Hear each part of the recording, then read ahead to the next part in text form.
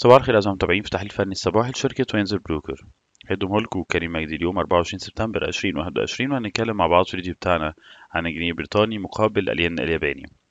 تداولات إيجابية للجنيه البريطاني مقابل الين الياباني وارتفاعات طبعا. كبيرة شهدتها الأسواق خلال تداولات أمس. وده راجع أكيد في المقام الأول لارتفاع شهية المخاطرة بعد تصريحات وقرارات الفيدرالي يوم الأربعاء الماضي. بريطانيا امبارح كان عندها طبعا أكتر من خبر وكان أهمهم هو قرار الفايدة.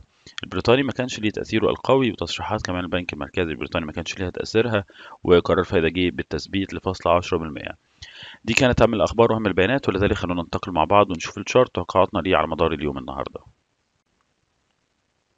زي ما حضرتك شايفين طبعا الأداء الإيجابي والارتفاعات الكبيرة والارتداد من مناطق ال 149 علشان يرجع مرة أخرى أعلى نقطته المحورية الهامة واللي هتدعمه بشكل كبير عند ال 151 50 أداء إيجابي بشكل كبير أداء إيجابي على الإي إم إي على الفلات ترند تقاطع المتوسطات السعرية الأعلى.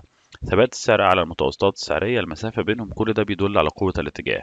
ولذلك نتوقع استمرار الاتجاه الصاعد والإيجابي ولكن بشرط كسر ال 151 95 علشان يروح ل 152 45 وراها ال 152 85 مرة تانية كسر ال 151 95 وراها ال 152 45 وراها ال 152 85 السيناريو الآخر معاكس اتحقق بكسر 151 15 وراها ال 150 65 وآخر نقطة عند ال 150 فلات.